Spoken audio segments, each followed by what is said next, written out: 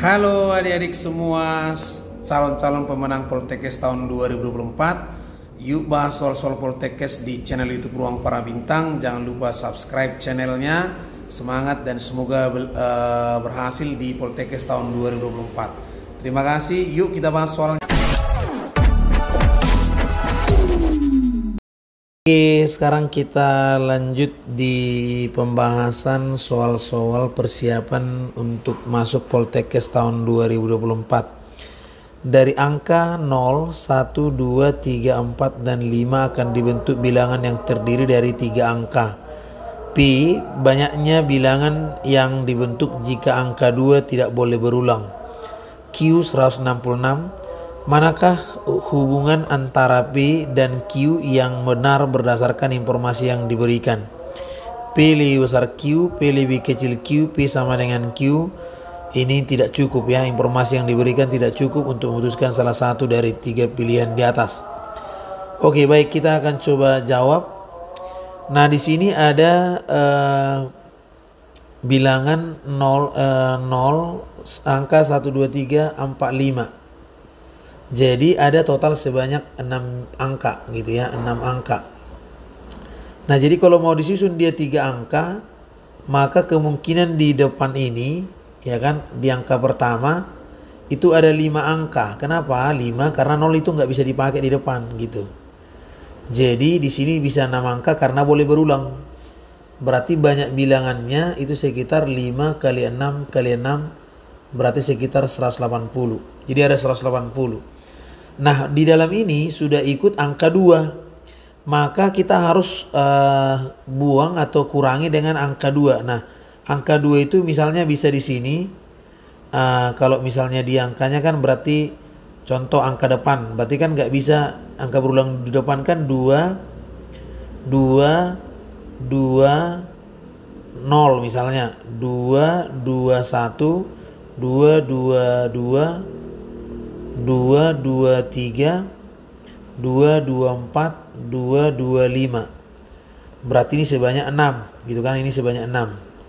Kemudian bisa gini dua dua di sini dua gitu kan? Dua nol dua dua nol tiga eh du, sorry dua satu dua itu yang berulang kan? Dua uh, 2 3 2 2 4 2 2 5 2 berarti ada 5 kemudian lagi misalnya di sini yang dua-duanya. Dua-dua gitu. Berarti 1 2 2 3 2 2 4 2 2 5 2 2 gitu kan? Nah berarti ada 4 gitu ya Nah, adakah yang lain yang angka 2 22 berulang? Nah, kalau 22 kan dari di sini tadi nih. Tiga angka 22.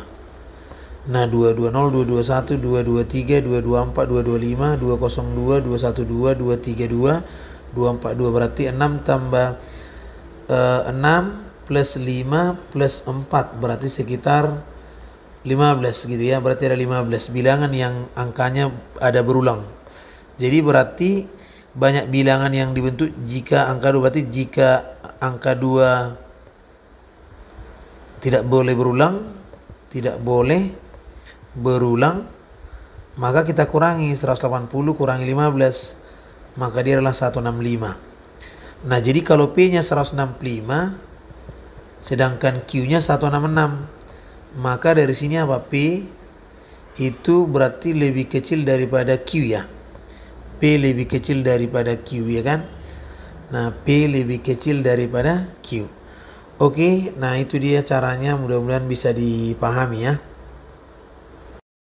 Oke lanjut di soal yang nomor 2 Titik A, B terletak pada kurva Y sama dengan MX kuadrat. Untuk M lebih besar 0 maka uh, A lebih besar 0, B lebih besar 0 A lebih besar 0, B lebih kecil 0 A lebih kecil 0, B lebih besar 0 A lebih kecil 0, B lebih besar 0.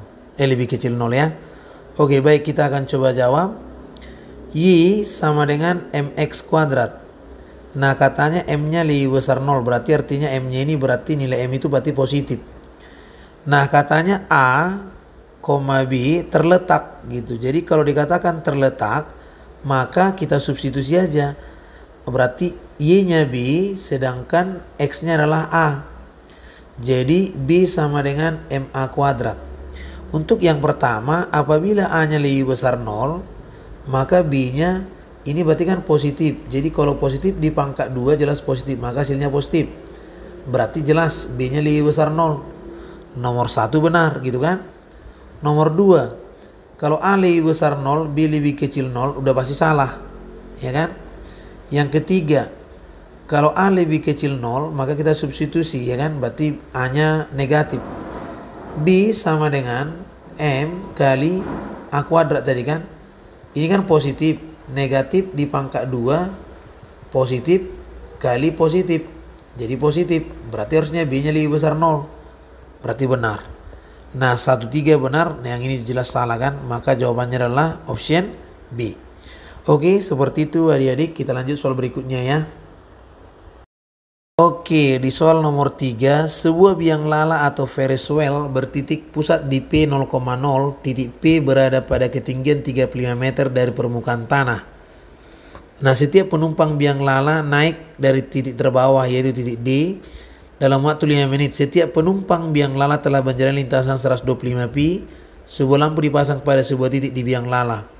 Nah, posisinya seperti ini, katanya misalkan QR adalah tiang dengan tinggi 5 meter. Jarak terjauh antara lampu dengan titik Q. Jadi di sini dipasang uh, lampu ya di sini. Jadi sebenarnya di sini ada lampu banyak nih, bisa di sini, bisa di sini, bisa di sini, bisa di sini, bisa di sini gitu. Jadi kalau kita perhatikan logikanya seperti ini. Nah, kalau misalnya ini kita buat ya kan? Nah, di sini misalnya kita buat nih lingkaran gitu kan. Nah, baru kemudian di sini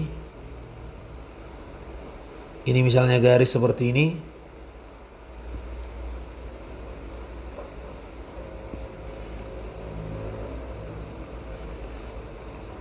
Oke. Nah seperti ini ya. Baru ini. Nah ini dia misalnya tadi uh, titik B. Di sini P eh, sorry di sini berarti P ya kan? Di sini berarti C tadi di sini D nya di sini A di sini B tadi. Nah katanya jaraknya dari sini kemari ini adalah R ini 40 ini 10 nah ini sumbu X tadi ya. Jadi di sinilah tiang ini Q jadi kan di sini sebenarnya ada ada lampu di sini, sini bisa, di sini bisa, di sini bisa. Jadi yang ditanya jarak terjauh. Jadi kalau jarak terjauh berarti kita ambil aja dari sini. Nah, gitu kan? Nah, berarti kalau kita perhatikan ini di sini lampunya tadi misalnya. Bisa, sebenarnya bisa kemari, bisa juga kemari kan adik-adik kan? Tapi dia belum terjauh itu. Jadi kita coba hubungkan berarti ini dia. Nah, inilah kita misalkan X gitu ya. Jadi gambarnya didapatkan gambar segitiga siku-siku. Nah ini X, ini Q, ini P. Ini kan panjangnya tadi katanya ke tanah 35. Sedangkan ini 10. Berarti ini kan 25 nanti kan. Berarti ini jadinya 5. Berarti total jadi 30 dong kan. 40. Jadi kalau kita nyari PQ akar dari 30 kuadrat tambah 40 kuadrat. Jadi 900 tambah 1600 lah sekitar 2500 maka itu adalah 50 berarti 50 nah berarti kalau ini 50 ini kemarin kan 25 maka jarak terjauhnya jelas. Jarak terjauh kita jumlahkan aja adik-adik. Berarti 50 plus 25 dapatlah 75 gitu. Jadi jawabannya 75 oke? Itu dia ya. Oke, soal berikutnya kita lihat nilai X yang memenuhi persamaan 2 log X pangkat 3 tambah 3 sama dengan 3 tambah 2 log 2X. Berdasarkan informasi di atas dari pernyataan berikut yang bernilai benar sebanyak. Nah, kalau kita tes dia yang pertama, ya, yang pertama katanya X-nya sama dengan minus 4 yang pertama, minus 4. Nah, di sini uh, 2 log ya kan X pangkat 3 tam eh sorry sama dengan 3 tambah 2 log 2x. Nah, 2 log min 4 pangkat 3 sama dengan 3 tambah 2 log 2 kali min 4. Nah, 2 log min 64 sama dengan 3 tambah 2 log min 8. Nah, syarat syarat daripada logaritma itu A logaritma B, ingat B-nya ini nggak boleh dia bernilai negatif 0, itu nggak boleh. Dilarang. Ya. Jadi nggak boleh harus lebih besar daripada satu atau lebih besar daripada satu atau itu bisa, juga seperti ini gitu ya. Jadi nggak boleh uh, lebih besar satu. Kalau misalnya dia di sini ada lebih besar dari nol lah kita bilangnya lebih besar dari nol. Tapi kalau misalnya dia di sini A-nya dua, log B-nya satu boleh ya. Nah jadi ini nggak mungkin. Jadi ini jelas nggak mungkin nomor satu salah. Ini pun nggak bisa x-nya nol ya, itu salah. Nah kalau x-nya dua kita tes. Ya x-nya di dua. Nah berarti kan 2 log 2 pangkat 3 sama dengan 3 tambah 2 log 2 kali 2 berarti kan ini jadinya 3 kali 1 3 tambah 2 log 4 3 sama dengan 3 tambah 2 log 2 pangkat 2 maka ini 5 maka ini salah. Nah kalau 4 dia berarti coba kalau 4 berarti uh, eh, 2 log 4 pangkat 3 berarti 64 sama dengan 3 tambah 2 log 8 berarti 2 pangkat 5 2 pangkat 2 pangkat 6 kan? Berarti 6 2 sorry ya berarti ini jadinya 2 log 2 pangkat 6 sama dengan 3 tambah 2 log 2 pangkat 3 jadi 6 nya ke depan 3 tambah 3 jadi pas benar. Jadi jawabannya ini. Maka ada sebanyak sah 1 Oke seperti itu adik-adik mudah-mudahan bisa ya. Oke, kita lanjut di soal berikutnya. Ini soalnya. Diketahui L adalah garis yang dinyatakan uh, oleh determinan A sama dengan 0 di mana A 112 XY 1213 persamaan garis yang sejajar L dan melalui 3,4 ya kan. Jadi determinan A kita coba jawab.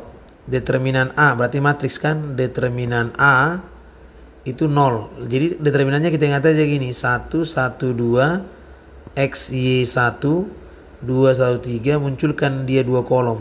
1, 1, X, Y, 2, 1. Sama dengan nol. Jadi kita kerjakan. Berarti ini kemari kalikan 1 kali Y kali 3. Berarti 3Y. 1 kali 1 kali 2. Berarti apa? 2. 2 kali X kali 1. Berarti 2X kurang 1 kali X kali 3 berarti 3X 1 kali 1 kali 1 berarti kurang 1 4I gitu sama dengan 0 jadi dari sini kita lihat berarti ini min 2X kurang 3X pas 3Y berarti min Y plus 1 sama dengan 0 maka gradiennya ini kan min koefisien X per koefisien Y jadi min min 1 per min 1 1 per min 1 min 1 jadi karena ada kata sejajar dengan berarti M2 nya itu berarti sama dengan M1. Jadi sama aja min 1. Nah melalui 3,4. Persamaan garisnya kan ingat Y kurang Y1 sama dengan M kali X kurang 1. Y kurang 4 sama dengan min 1 kali X kurang 3. Y sama dengan min X tambah 3 plus 4. Y sama dengan min X tambah 7. Itu jawabannya. Oke? Mudah-mudahan bisa dipahami. Semangat dan semoga lulus Poltekkes tahun 2024. Semangat jangan lupa subscribe ya.